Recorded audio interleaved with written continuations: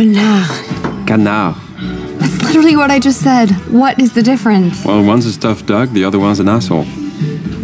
Oh, I thought you were taking French classes. I am.